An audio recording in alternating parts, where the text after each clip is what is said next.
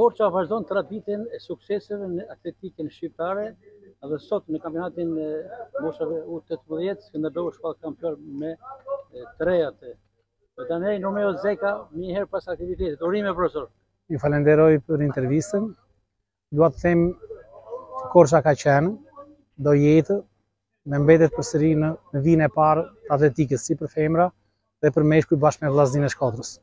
Dy ekipe që kanë dhënë traditën dhe vazhdojnë të ruajnë mund të themi janë të dy ekipet e vetme në Shqipëri që ruajnë traditën dhe punojnë shumë fort për moshat për të arritur në këto rezultate.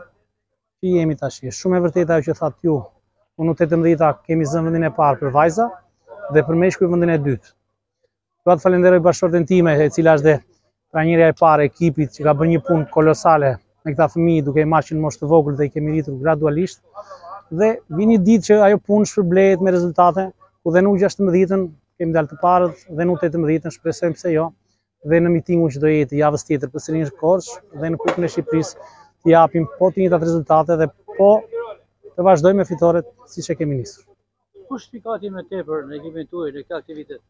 Atëherë në ekipin e vajzave dallon, mund të themi Alisia Çiko, e cila është në garën e 400 metra është nënkampione Shqipërie për të rritura, në 1000 metra kampione kombëtare. Mund të themi që kjo ishte një nga spikatjet e këtyre garave. Po duhet të themi që si në garat e 100-shit dhe në 200-shit, ku stafetë ka qenë një dominim i vajzave korçare.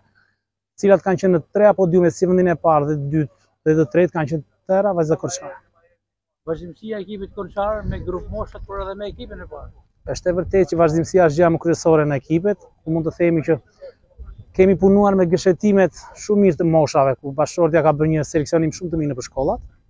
Do ta falenderoj Olgeta Gjylapin, e cila ka bërë një gërshetim sistemi me moshat që nga U13, U16, 18 dhe në të rriturat Pse jo me prezantime shumë të mira. Po mund të themi me të rriturat kemi një brez të shkëlqyer kampionësh.